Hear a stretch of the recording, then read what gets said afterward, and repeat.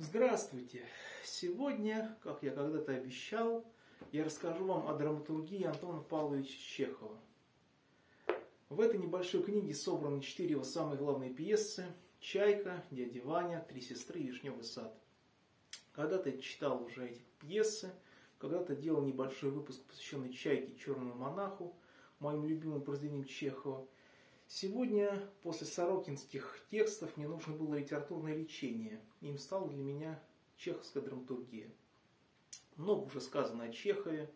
То, что в нем предпринята дедраматизация нарратива, децентрация зрительского внимания, убрано деление на второстепенных и главных персонажей, и то, что чеховский театр с его новаторском отношении, предчувствие некая колыбель для будущего театра абсурда Бекета и Ионеско. Прочитав заново эти пьесы, я еще убедился в том, что советские интерпретации тоже не такие уж пустые. Что герои, живущие бессмысленно в праздности, живут накануне больших социальных потрясений, о чем говорят прямо в вершине трех сестрах и Трофимов в Вишневом саде. Они ощущают, что их жизнь будет уничтожена, а смене ей придет что-то другое. И они видят это будущее в розовых тонах. Конечно, есть некий, некий сарказм, некая ирония автора в отношении этих персонажей, но при этом он, их предчувствие будущего все-таки в этом романе, в этих пьесах присутствует. Так вот, читать Чехова тяжело, мне показалось на этот раз, хотя когда-то любил «Чайку», но теперь чтение Чехова какое-то вязкое. Увязаешь будто как в болоте, в какой-то трясине. Такова провинциальная жизнь его героев, живущих часто в деревне или просто в провинциальном городе удаленный от столицы, от больших каких-то потрясений, больших событий. Герои Чехова мучительно переживают свою несостоятельность, несостоятельность своей жизни. Они очень хорошо все себе понимают.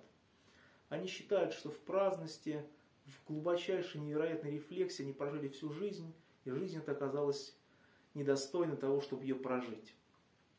Чехов вычленяет из своих персонажей нечто столь существенное для интеллигенции, вообще для интеллектуалов – который часто занимается самокопанием, самобичеванием, недоволен своими делами, который занимается творчеством часто, но при этом это творчество в итоге умирает под воздействием обыденности, серости, обывательщины и прочих мещанских вещей. Конечно, часто советские интерпретации показывали все это как мир накануне революции, мир, который вот уже умер, сгнил окончательно. Конечно, это во многом так и было, так и есть. И то, что Чехов популярен всегда в конце века, то, что он показывал, показывал болезнь века, но не в декаденских тонах, не в упоении злом, а в традиции русской классической литературы, в этом ему большая честь и похвала, большая слава Чехова многом заключается именно в этом. Но он также ухватил то, что свойственно не только русским людям, но и миру вообще, людям, живущим в мире в разных странах. Чеховские герои зажатые в тиски времени, которые метят их лица, души и тела тоской, невероятной меланхолией, депрессией. Почему-то часто отмечалось, что Раневская, плачущая в вишневом саде, плачет для некого комического эффекта, он нужен автору именно для этого.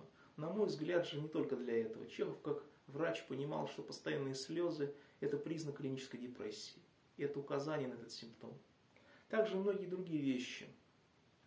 Так, например, неудовлетворенность дяди Вани – своей жизнью, прожитой ради Серебрякова, или постоянная борьба Треплева со старыми формами, все это, конечно, запоминается на всю жизнь.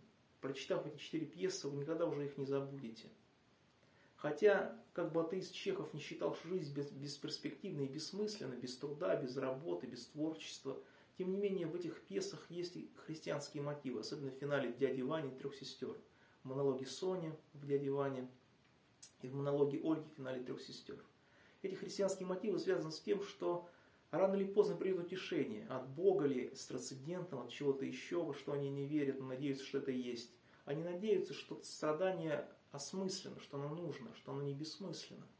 Они надеются на то, что боль, которая приносит им мир и жизнь в этом мире, рано или поздно закончится. И это будет утешением от Бога или другой силы, в которую они не верит, в которой надеется, что она есть.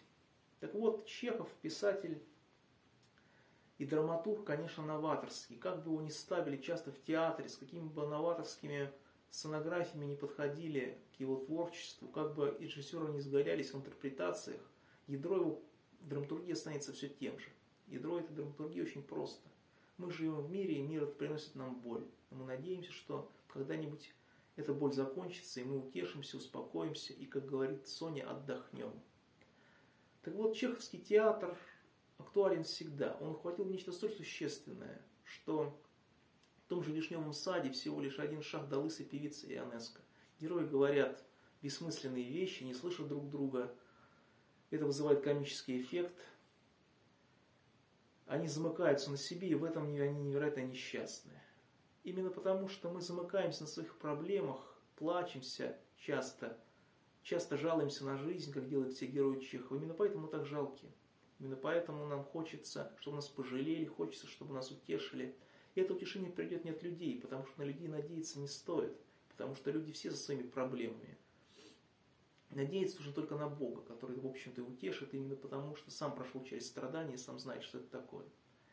Именно в этом, на мой взгляд, является ядро чеховской драматургии, несмотря на то, что автор был атеистом. До свидания.